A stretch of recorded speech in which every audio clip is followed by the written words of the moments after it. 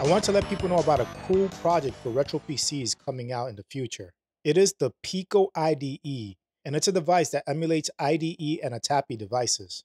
So it can emulate like CD-ROMs and fixed hard disks for retro PCs. It's being developed by Ian Scott, which is the creator of the Pico Gus, and that's another cool project that I highly recommend you check out. The device hasn't been released yet, but Ian Scott says that it's coming soon. Here I am in the website, and let's read what are its features. It says here that it has a fully open source firmware and hardware. It emulates ATAPI CD-ROMs and IDE fixed hard drives.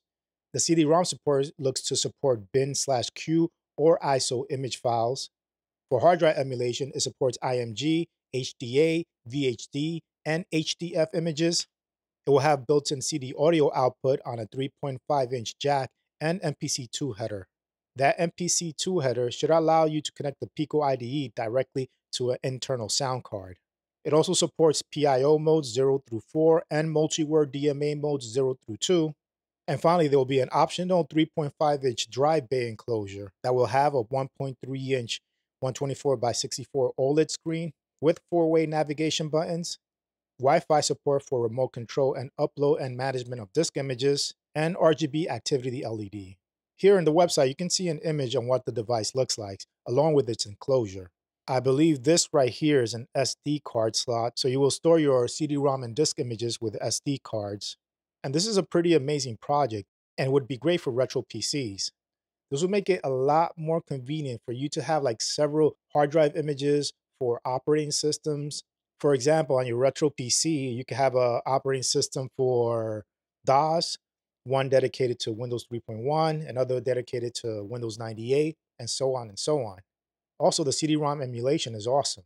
As CD-ROM drives get older and older, their lasers might start failing. So having a device like this will allow you to at least play your games without the need of a CD-ROM drive. So how would you install the Pico IDE? It should work by connecting it via an IDE cable to your Retro PC's motherboard's IDE port.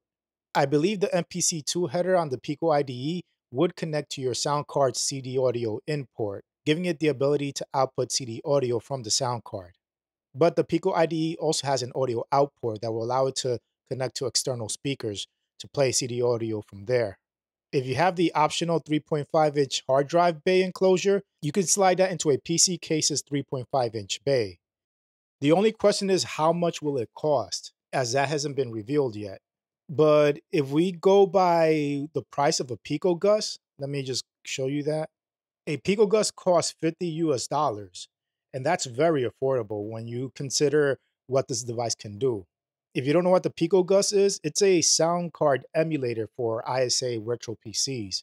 It can emulate the Gravis Ultrasound, Sound Blaster, and AdLib, Creative Music System, Tandy 3 Voice, has MPU 401 support, and also emulate joysticks. It could even emulate CD-ROMs too.